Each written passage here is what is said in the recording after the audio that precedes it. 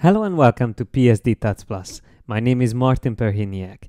In this video I'm going to show you how to use the adjustment layer called Vibrance.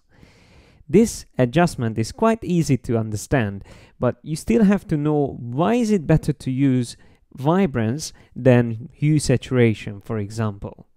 So this is Hue Saturation, where we have a saturation value.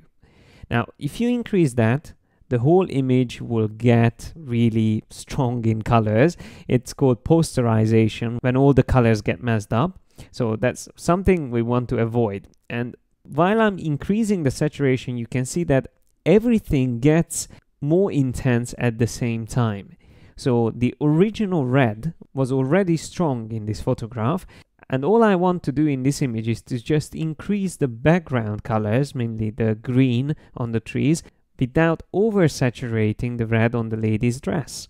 So as you can see, saturation just increases everything together in the whole image. So that's something I would like to avoid. So I'm going to press backspace to delete this adjustment and I'm going to go back to the adjustments panel and choose vibrance.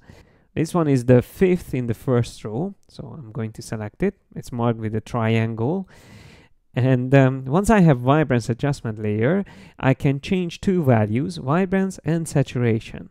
So it's fairly simple.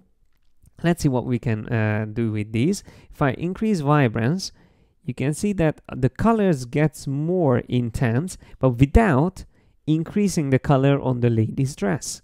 So you can see why vibrance is much more useful and smarter way to add saturation to your photograph in cases where you have a strong color and some less strong colors around it, which is to tell the truth is the case most of the time.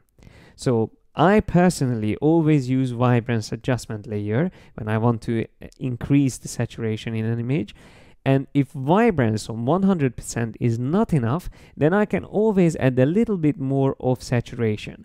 But I have to be careful with that because as you can see already by just adding 28 to saturation while having the vibrance on maximum, I already have a little bit oversaturated colors on the lady's dress. But the background got to the point which I wanted to with these values. So what can we do? What can we do always is to use a mask, which we already have already on the vibrance adjustment layer. I just need to select a tool. And the best tool for this is the brush tool. I use a soft edge on the brush tool and I'm going to probably set it to 50% opacity.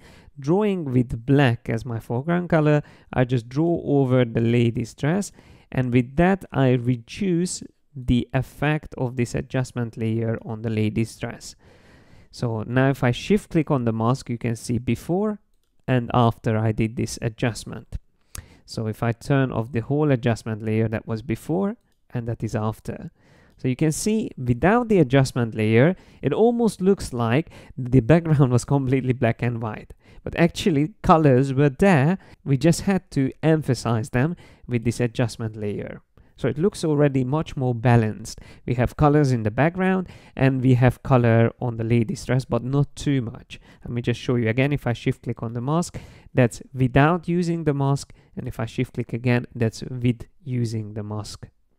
So as you can see, Vibrance is very simple adjustment layer, but you still have to play around with it to be able to get the best effect. Let me just show you another thing which is useful to know about this adjustment layer. If I choose again Vibrance in this image, I can add vibrance to the image, but I still feel like that uh, it's a little bit too bright.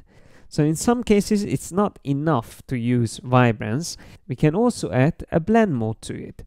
So what if we add, for example, multiply or color burn? Let's see, multiply first, then color burn. Yeah, we can have a very edgy look with color burn, which is quite cool on this photograph. We can reduce the opacity just to make it a little bit more subtle. But let's see again, multiply. With that, I can even go higher up and it will still look good. So now if I turn it off, that was before and that is after.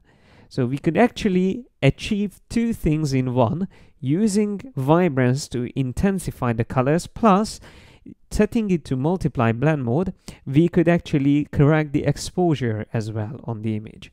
We can always play around with saturation as well if we want, but in this case I think we only need just a little bit more with the saturation. And last but not least, let me show you another image. And here, all I want to show is just another useful thing about this adjustment. So once again, I select the vibrance.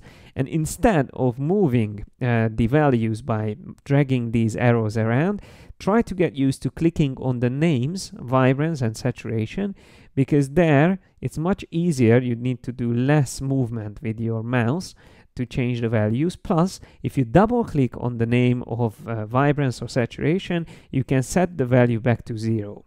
It's the same thing in Lightroom, you can double click on the arrow. Here in Photoshop, you have to double click on the name of the uh, options or values like vibrance or saturation. So if I double click, it jumps back to the default, zero value.